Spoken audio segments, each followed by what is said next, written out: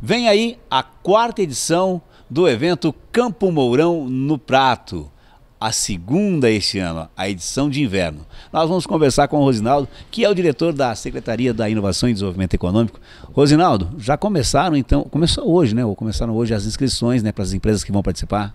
É isso mesmo. A gente teve uma reunião ontem com os empresários aqui, a gente teve uma surpresa bastante agradável. É, a gente teve aqui 86 empresas aqui em reunião. Nessa reunião foi alinhado alguns critérios então de participação, né? E aí abrimos então as inscrições hoje. Abrimos a inscrição hoje era 14h30 e agora percebemos agora, né, com menos de duas horas já tem 50 empresas cadastradas. E serão só 60 que poderão participar, é isso? Nessa edição serão 60, né? Então é, é, a gente começou com 30 na primeira edição, fomos evoluindo para 50 na próxima edição, na última agora foi 60 e vamos manter então nessa edição de inverno 60 empresas. É, você disse que alguns critérios foram mudados, que critérios foram esses? Primeiro valor, a gente ajustou o valor, né, por conta inclusive de alguns aumentos de preço, tal, para R$ 29,90. Então saiu de R$ 24,90 para R$ 29,90.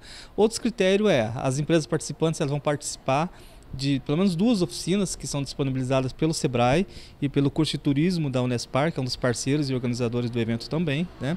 E aí, outro critério é que as empresas têm que participar todos os dias que elas estiverem abertas. Então, não sei, não tem limitação, ah, eu vou atender só segunda ou só quarta, né? Não, vai ser abriu a empresa, a menos que for o dia de folga, ela vai participar do festival. E quanto tempo dura esse festival? Quantos dias? O festival ele acontece durante 15 dias é, ele acontece na última semana de julho desse do mês que vem e é 1 de agosto. Então as pessoas vão poder aproveitar muitos pratos, né?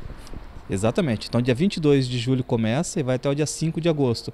Né? Nessa data aí a gente já considerou que já virou o cartão da galera, dia 20 já tem né, vale, então todo mundo pode aproveitar aí, é, explorar os estabelecimentos que vão ofertar esses pratos aí.